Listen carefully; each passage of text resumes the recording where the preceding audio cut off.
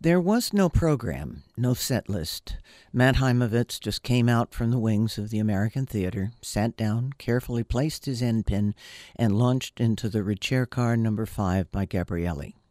The singing tone of his 1710 Goffriller cello was rich and dark and brought out all the nuances of a piece written 30 years before Bach's solo cello works. As Haimovitz said, Bach didn't come out of thin air. The prelude from Bach's Cello Suite Number no. 1 followed, satisfyingly familiar and beautifully played. Before beginning the nine movements of Ned Rorem's After Reading Shakespeare, Haimovitz called the composer the Franz Schubert of America for his many songs, noting that Rorem has remained staunchly tonal in the face of academic atonality. He gave the Shakespeare quotations at the start of each movement, beginning with a quote from Lear's last speech.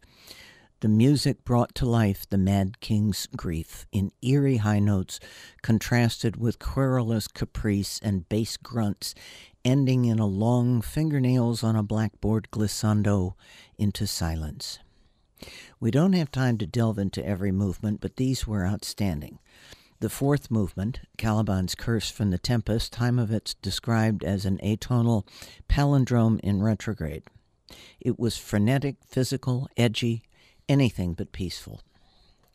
For the seventh, the composer quoted Sonnet 60, So do our minutes hasten to their end, clothing the thought with high, busy harmonics to a very fast, febrile, and abrupt end. The final movement follows the false Iago's last line Caught in lies he can't deny, he stonewalls.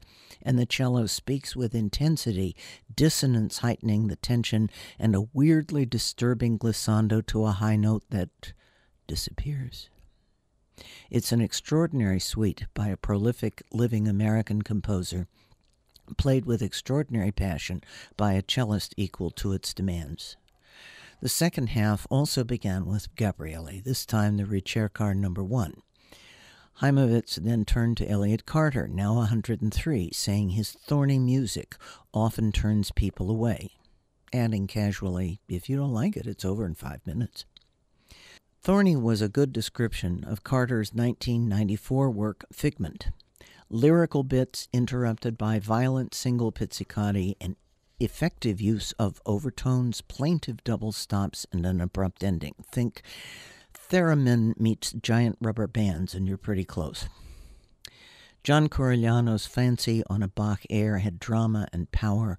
It was passionate yet pensive. The second part was slower, softer, and just lovely. In 2001, Haimovitz commissioned David Sanford to write a commemorative work for 9 11.